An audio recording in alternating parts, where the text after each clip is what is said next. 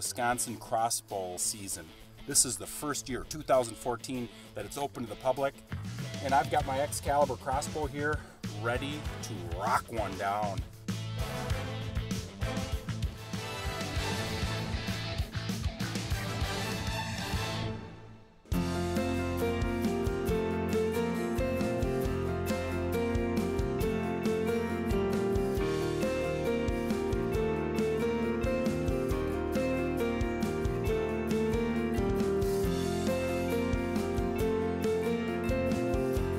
The young bucks are entertaining and, to be honest, would be quality shooters for many hunters.